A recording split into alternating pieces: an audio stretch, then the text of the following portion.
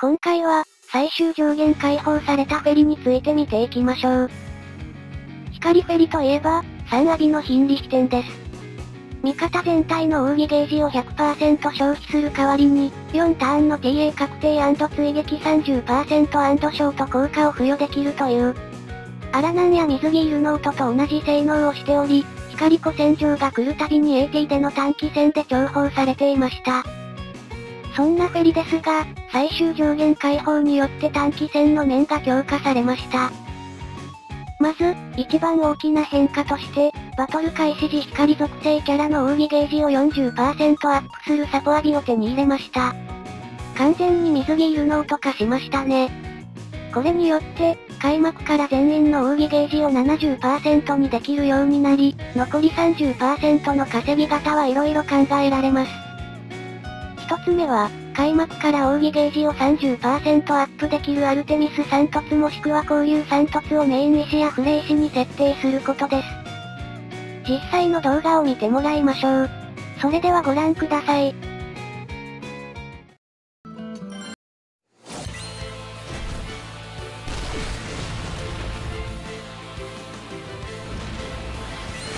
みんな、準備はいいか？呼吸を合わせるんだ。代償なしに成果を何が役に立つかわからないものだ。せっせっせはややじゃじゃそこ。せっせっせはっはっはっややははっはっはのの逃すか。開幕から奥義ゲージは、ドラ30%、フェリ40%、交流30%の合計100%になっており、フェリ3アビを起動することができています。ちなみに、交流3突とアルテミス3突の違いですが、交流は光属性攻撃力50%アップなのに対して、アルテミスは60%アップなので、フレイシとしてはアルテミスの方が優秀です。また、フェリの通常攻撃後アビダメが発動していましたが、これも最終上限解放によって新たに獲得したものです。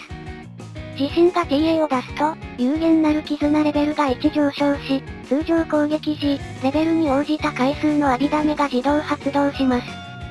2プラトンで1回、そしてネハンによる2回行動があるので、それぞれ2回と3回発動し、アビダメは計6回分発動することになります。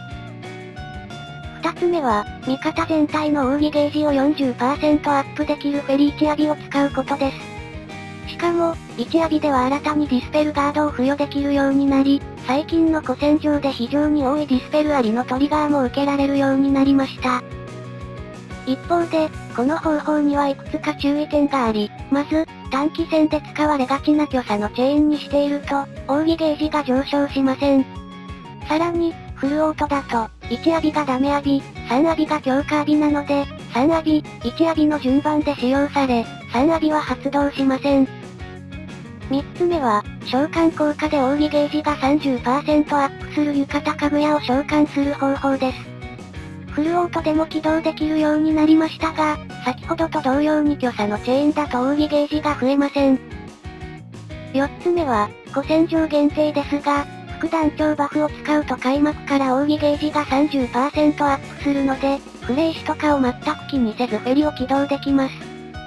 副団長バフは1日2時間、そして AT も1日2時間なので、計4時間フェリを使うことができます。